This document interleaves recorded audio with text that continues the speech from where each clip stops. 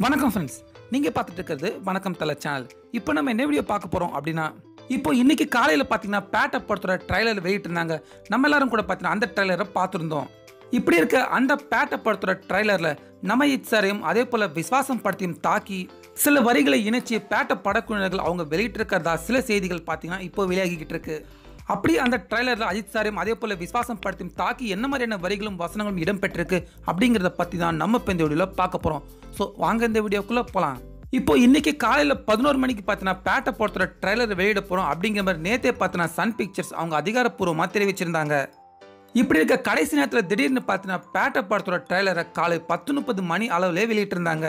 இப்படி இருக்க பேட்டை திரைப்படம் எப்படி இருக்குது அப்படின்னு முடிவு செய்ய போகிற இந்த ட்ரைலரை பல பேர் பார்த்தது போலவே பார்த்தா நம்ம தலர் ரசிகர்கள் பல பேரும் அந்த பேட்டை படத்தோட ட்ரைலரை பார்த்துருக்காங்க.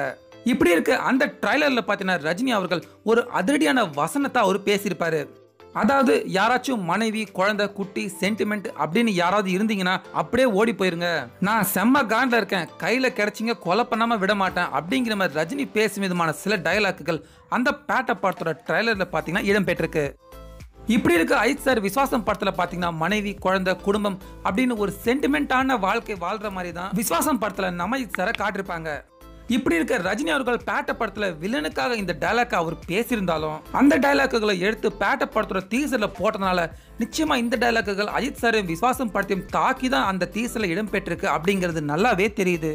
ஸோ இப்போ பேட்ட படத்தோட டீசரில் இந்த மாதிரியான வசனங்கள் இடம்பெற்றதால இப்போ ரஜினி அவர்களோட நம்ம தல ரசர் எல்லாருமே தான் செம்ம காண்டில் இருக்காங்க அப்படிங்கிற மாதிரி தான் சொல்லணும்.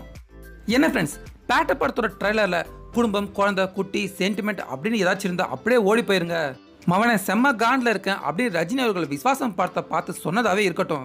விஸ்வாசம் படத்தில் அஜித் சார் அதிகபட்சம் ஒரு குடும்பஸ்தனா தான் இது வரைக்கும் காட்டிருக்காங்க. இப்படி இருக்க பேட்ட பட குழுவினர்கள் அவங்க விஸ்வாசம் படத்தில் அஜித் சாரோட உண்மையான அலப்பறை இன்னும் அவங்க பார்க்கல. இந்த நியூ இயருக்கும் ஜனவரி பத்தாம் தேதிக்கும் விஸ்வாசம் படத்துல உண்மையான அலப்பறைய விஸ்வாசம் படத்தை எதிர்க்கிற எல்லாருமே அஜித் சாரோட உண்மையான அலப்பறையை நிச்சயமா பார்க்க போறாங்க. என்ன ஃப்ரெண்ட்ஸ் இப்போ பேட்ட படத்தோட ட்ரெயிலர் பார்த்தீங்கன்னா அஜித் சாரையும் விஸ்வாசம் படத்தையும் தாக்கி சில வசனங்கள் அதில் இருந்தாலும் இப்போ இந்த நியூ இயருக்கு ரிலீஸ் ஆக போகிற விஸ்வாசம் படத்தோட டீசரில் நிச்சயமாக பேட்ட படத்தை தாக்கி சில வசனங்கள் இருக்கும் அப்படிங்கிற நம்ம நிச்சயமாக நம்பலாம். ஸோ இப்போ இதை பற்றின உங்களுடைய கருத்துக்களை நீங்கள் மறக்காமல் நம்ம கமெண்ட் பாக்ஸில் பதிவு பண்ணுங்கள் மேலும் இந்த வீடியோ உங்களுக்கு பிடிச்சிருந்தா லைக் பண்ணுங்கள் ஷேர் பண்ணுங்கள் தொடர்ந்து இது போன்ற பல செய்திகளுக்கு மறக்காமல் வணக்கம் தலை சேனலுக்கும் சப்ஸ்கிரைப் பண்ணுங்கள் மீண்டும் அடுத்த வீடியோவில் சந்திக்கலாம்.